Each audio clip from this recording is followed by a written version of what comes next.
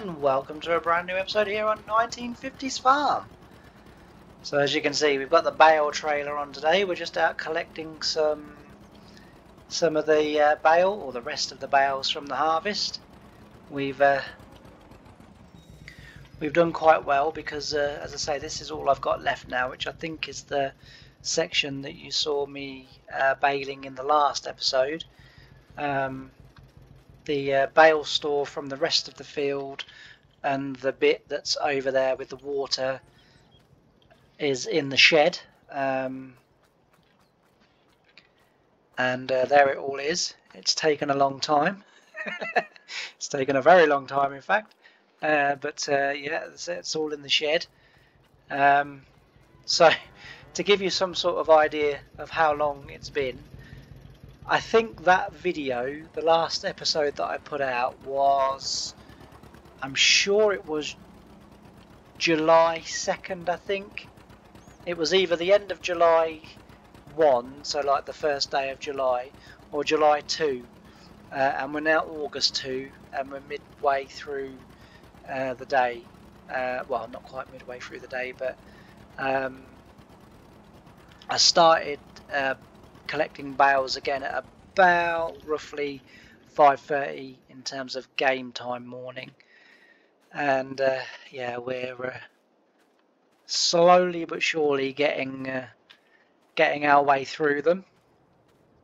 So we'll do a little bit we'll probably do a trailer maybe two trailers or so. And then um, I, I, do have some other jobs that uh, do need doing as well because um, as I say other work has been being neglected because uh, I've just literally spent all of my time uh, in that field harvesting and then uh, baling and and then collecting. Uh, so some of the other well the other job that we uh, have got to do is we need to get a John Deere tractor onto the little trailer and uh, we will um, collect some some poop out of the cow barn. We got some um, milk as well that needs um, selling and taking.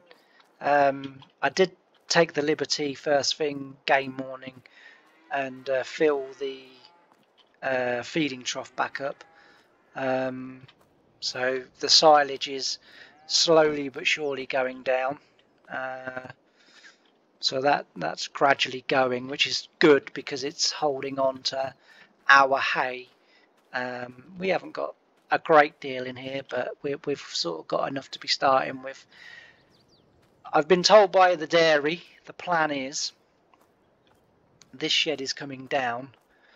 Uh, this shed is going to come down because uh, it was once used for stacking uh, grain sacks uh, and uh, it's no longer required. They've taken the floor down in here because obviously it was on two levels. Uh, they've taken the floor out uh, and uh, eventually the shed's going to come down. So uh, when the shed does come down, apparently another one of those is going up and then one will be for straw and one will be for hay. So we have to try and get that um, filled with hay if we can. And I've also been told that because I'm turning one of my grass fields over to uh, to cropping, uh, not all of it, but uh, half of it over to cropping, and the other half I'm going to put a cattle pen in, and we're going to raise beef stock.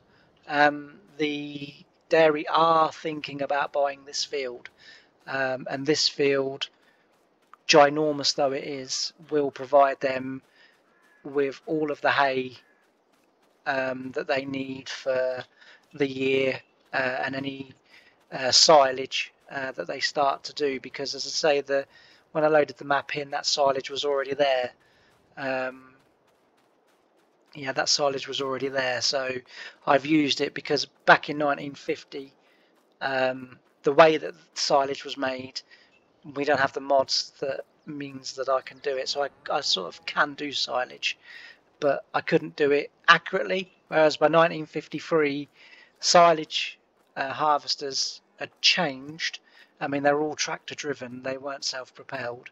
They were all tractor driven, uh, but they had changed, and there are a couple of mods that do represent what they look like back in 19 sort of anywhere from 53 to 55 uh, so eventually it's something that we can then do on the uh, dairy farm uh, while we carry on working for them. Harry left the dairy farm in the late 50s early 60s uh, and started to go it alone. Um, you know contracting was sort of taking over for him. Uh, raising his beef stock was you know becoming a full-time job.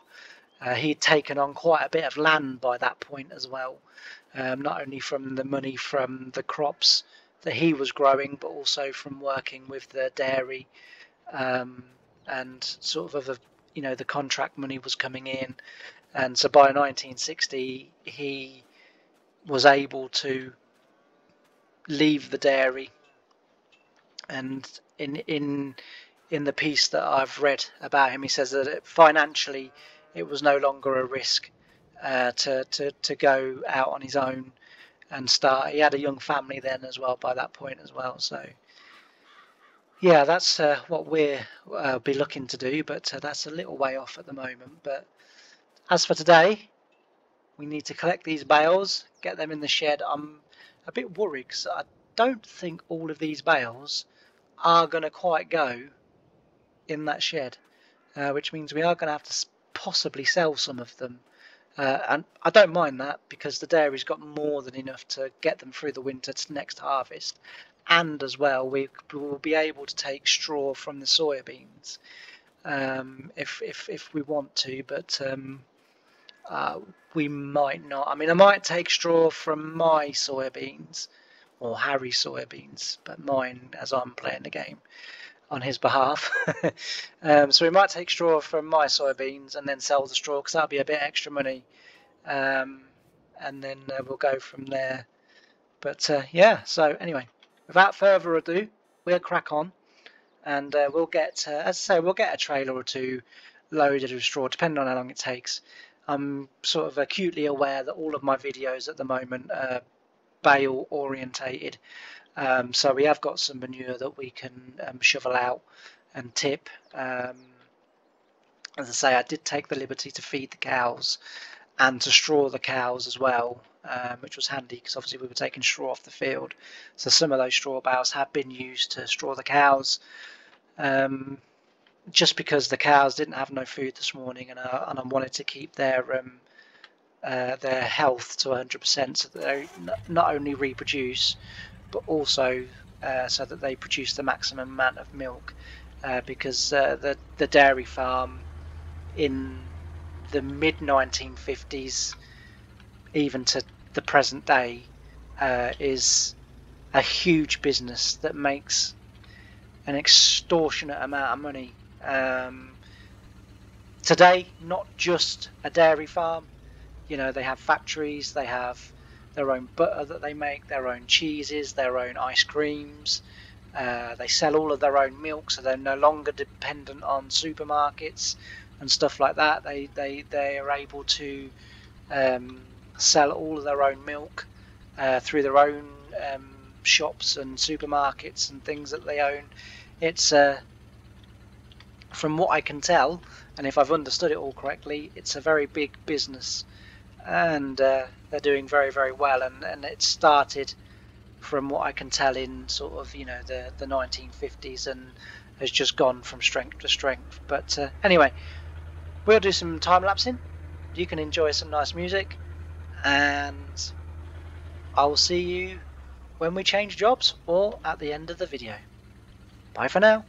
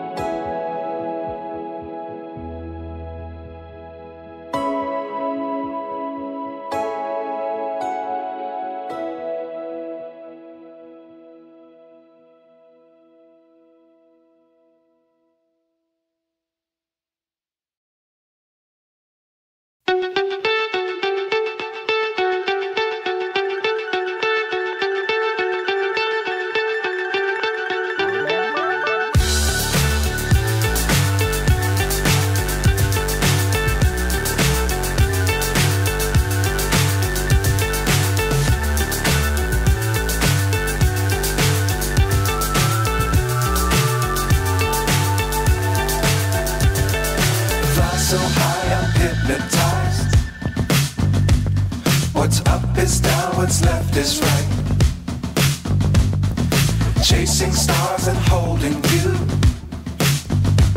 I can't see the end, but we'll see it through.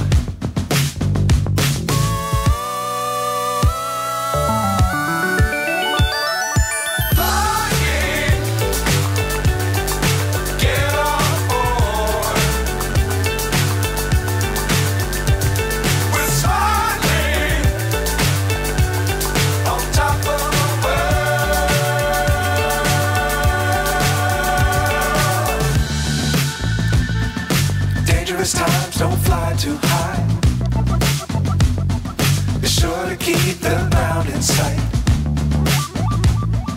Fly forever if you keep it tight. Love the world, but keep the sky on your mind.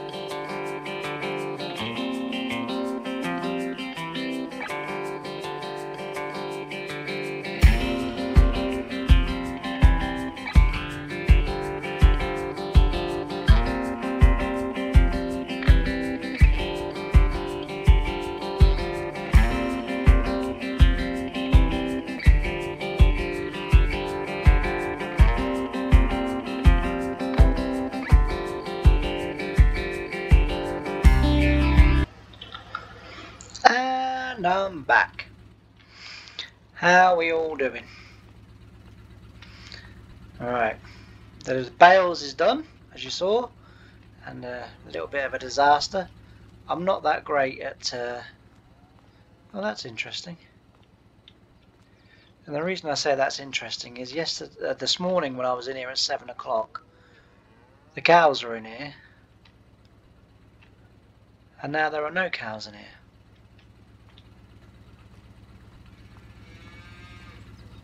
I wonder. I might have to check that out. I say when I was in here at 7 o'clock this morning, putting the feed out, uh, there was cows in there. Anyway, yeah, so we had a bit of a disaster as you saw with the bales.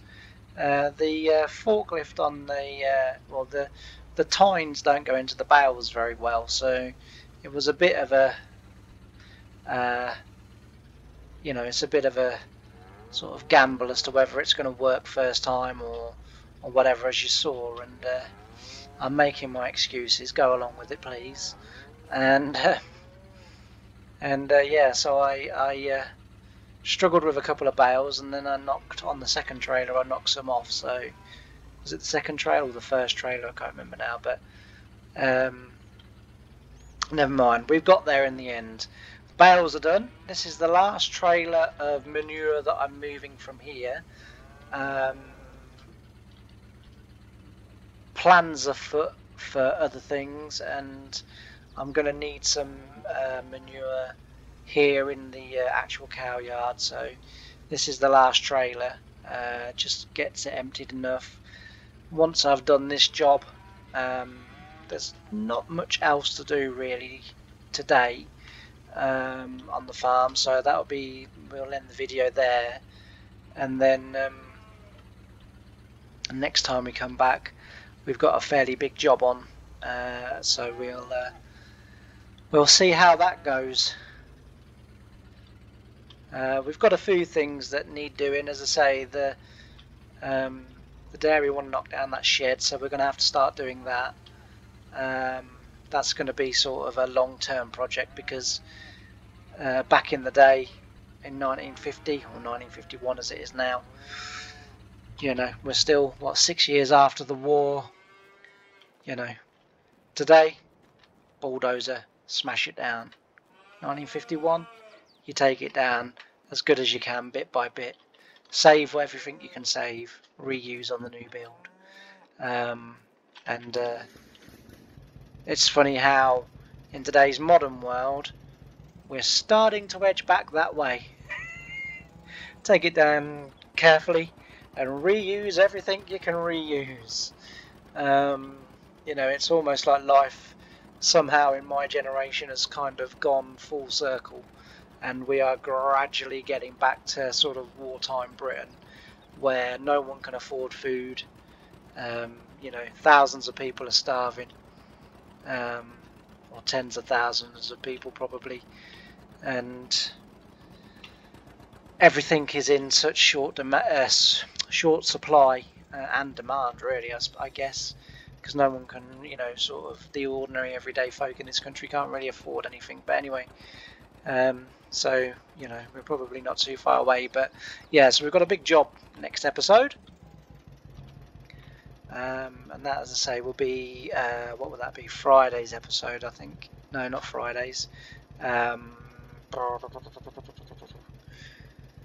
that will be actually that will be next Tuesday's episode. Um, so